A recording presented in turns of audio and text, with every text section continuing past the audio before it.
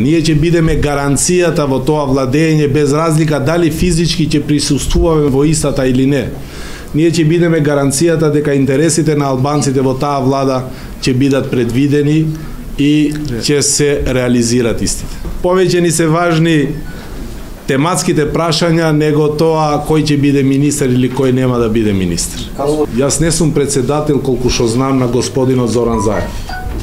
Јас сум председател на Движењето за реформи Демократска партија на албанците. Ние никаква гаранција не сме подпишале што барал некој си председател. И нема никогаш да подпишуваме гаранции кои некој ги бара. Нема да дозволиме никој да не забрани да размислуваме и да даваме предлози.